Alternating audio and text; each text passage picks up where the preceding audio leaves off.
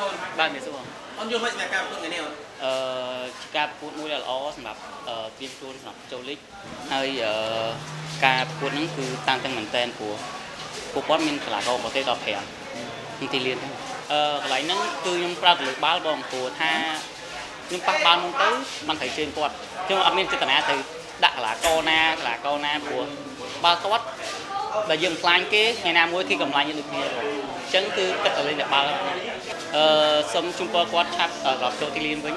សូមអភ័យទោសបើប៉ះពាល់ជើងគាត់ខ្លាំងចឹងបើគិតទៅយើងអាចអឺ recovery លឿនព្រោះថាគាត់មានពេទ្យការហាត់រំប្រែងជាផ្សិតសិតុំបើយើងអឺបើខាត់ដល់ដល់ recovery លឿនបងបាទខ្ញុំសូមអរគុណដល់អ្នកក្រុមតសំខាងទោះបីជាជាងយ៉ាងម៉េចក៏ដោយក៏គាត់មកគ្រប់គ្រងដែរបង